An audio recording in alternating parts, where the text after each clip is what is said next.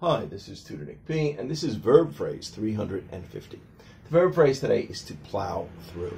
Okay, and we got four meanings and four uses. Okay, somebody wants a screenshot, do it right now. Let's get right to it. One should note the British spelling of plow, P L O U G H, and the American spelling is P L O W. Okay, good. Uh, let's continue. The noun plow is a large farm tool having uh, heavy blades to break soil and cut holes to put seeds in for crops. We also use plow for a snow plow, a large truck that pushes snow off the road. So you kind of need to know this to understand the verb meanings more, or why we came about with the verb meanings. Uh, let's all right, and we got four verb meanings. The first one means to make a path through a heavy substance with or like with a plow, so some sort of large vehicle that's pushing something out of the way. So here's the first one. The sanitation department plowed through the snow to clear the streets after a snowstorm. Yeah, in the US, mostly the garbage department, that's the sanitation department, is the one that's responsible for clearing the snow off the streets after snowstorms.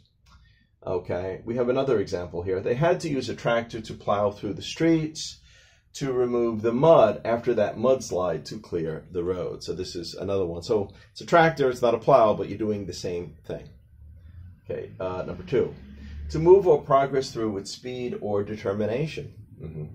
Uh, during World War II, the German soldiers, you know, remember the Nazis under Hitler, plowed through several countries and quickly conquered, quickly conquered them.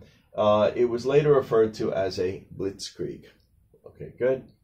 And number three here, to read or write or deal with all of something. Okay, good. She plowed through the boxes of documents with the team of lawyers looking for evidence. So she went through them quickly and with a lot of determination. Okay, and the last one here, number four, to slowly eat all of something, especially when there is a lot of it and you are not enjoying it.